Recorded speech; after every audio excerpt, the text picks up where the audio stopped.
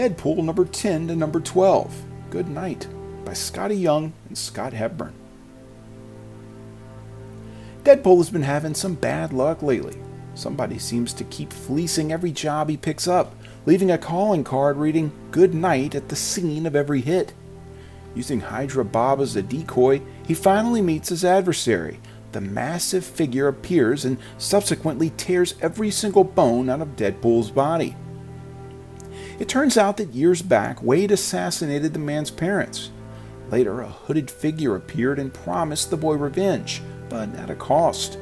He took the rap for the murder, and it several times in his life is cast through various time portals which eventually hard him into a super powerful warrior. To complete his training, he's cast into hell and forced to battle his demons one final time.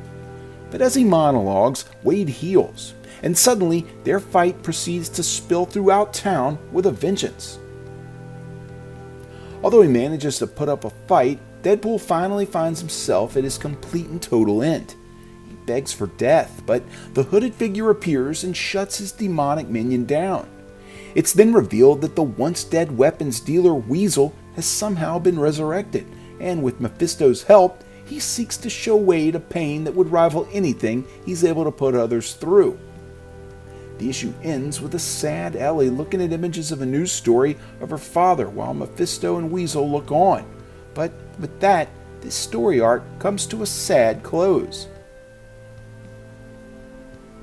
So, back when Gerry Duggan was at the helm of this book, it took a while to hook me, but when he finally did, I doubted anyone would ever come close again. When it was relaunched under Skottie Young, it was about as surface and banal as anything I'd ever seen Deadpool get, but I agreed to give it time, and boy, am I glad I did. With only a dozen issues under his belt, Young is building some depth to his version of such an iconic character. I'm finally firmly on board and can't wait to see where the future takes him. I give this story a 9 out of 10. If you like this video, there's hundreds more like it, spanning several current and classic story arcs. Click the boxes here for more playlists. This video is also accompanied by my blog at nerdieskidyouknow.com. You can also follow links to my Facebook or Twitter pages, as well as a link to this very issues for sale on my eBay page by clicking below. For the nerdiest kid you know, I'm Sam Torito. Thanks for watching.